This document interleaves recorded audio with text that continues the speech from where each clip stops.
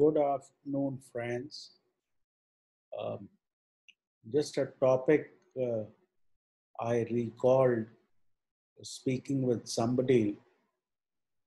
You know, in terms of what kind of stocks could lead in this, I would say, a fresh bull market.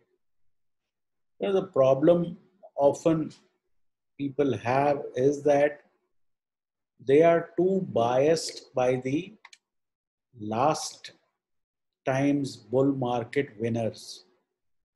So a lot of people are kind of disappointed that uh, you know banking is not doing so well.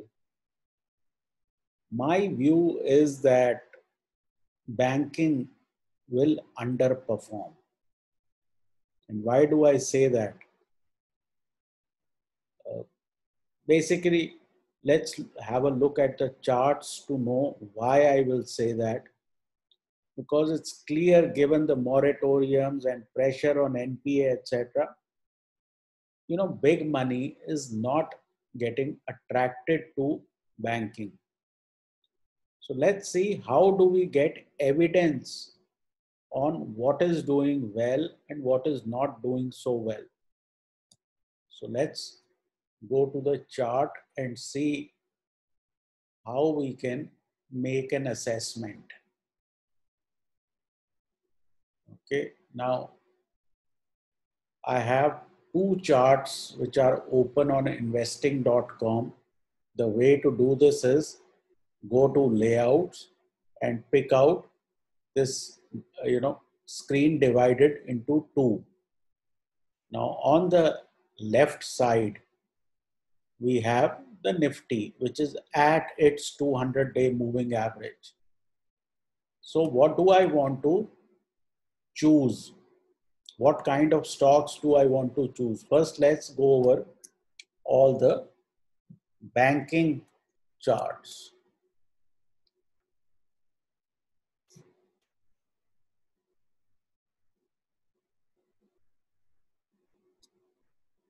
Now compare this Kotak Mahindra to Nifty. Nifty is at its 200. Kotak Mahindra 200 is at 1480. Right now it is at 1327. Is Kotak Mahindra an outperformer? It is an underperformer. Let's go to Axis Bank.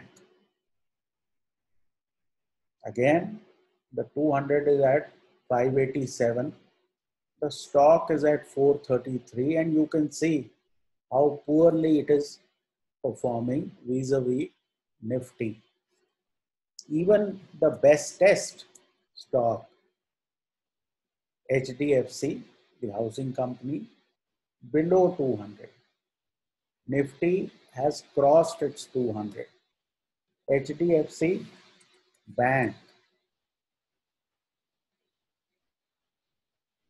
again below 200.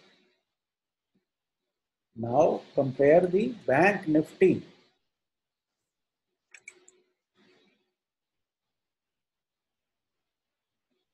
Way below 200. Okay. So it's very clear what kind of stocks you don't have to buy. If you have to buy a financial, let's look at Muthoot. Muthoot, as you can see, way above its 200 and mild corrections and again starts to rocket back up. Let's look at Reliance, which crossed its 200 even you know much much before the Nifty did. Big outperformer. Let's look at some IT stocks.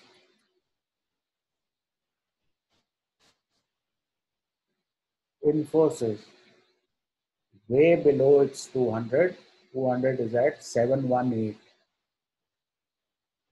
So now you are getting a picture in terms of what sectors and what stocks you want to look at. This is TCS. Again, way above 200. So the message is very, very clear that an outperforming stock where money is getting attracted will be above its 200. The financial, the NBFC space is not doing that. So if you buy into an outperformer and an underperformer, chances are that the underperformer will not perform according to expectation. So let's look at some pharma stocks. Okay, Aurobindo Pharma, way above 200. Okay. Cipla, way above 200. Okay. So it's very clear money is getting attracted to Reliance, it is getting attracted to pharma, it is getting attracted to IT. Let's look at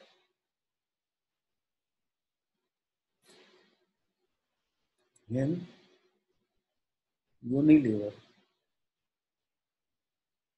way above 200. And you can see with these green bars, okay, Nestle,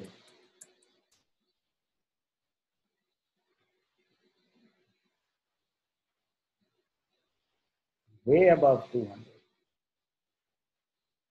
So these are the kind of stocks you want to choose for your portfolio, for trading, for, you know, the underperformers you want to choose when the market is trading below the 200 and at that time you want to choose stocks which are way below the 200 so this is how you make your list for trading or for investment based on which stocks are attracting money and which stocks are not attracting money. Let's have a look at couple of more. Dabur, again above 200. Okay, let's look at some auto stocks. Maruti, still below 200 for all the, you know, things that are being said that people will have personal mobility, this, that. It's not doing very well. Bajaj Auto, this is doing better than Maruti. So if I have to choose an auto stock, I'll probably go for a two-wheeler. Let's look at Hero Motors, way above 200. So within sectors, there are outperformers and underperformers. So choose your stock based on its relative position vis-a-vis -vis the Nifty. So you know which stocks are outperforming and which stocks are underperforming. So that should be it for uh, this video. You can also do something else that you can look at the indices.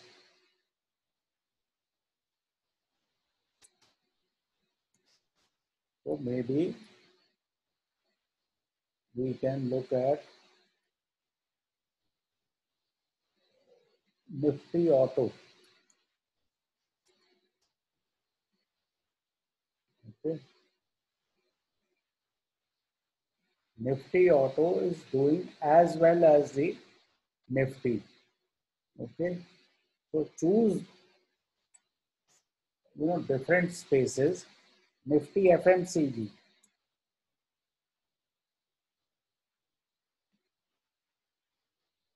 Look at the entire sector. So this is how you can choose sectors also. There are underperformers in sectors. There are outperformers in sectors. Okay. Nifty Pharma. Look at the outperformance of Nifty Pharma. So this will, you know, keep you from choosing the wrong sectors, wrong stocks, and would probably help your case in terms of choosing to be in the right sector. That should be it for right now. Take care, trade well, please consult your financial advisor. Thanks for watching.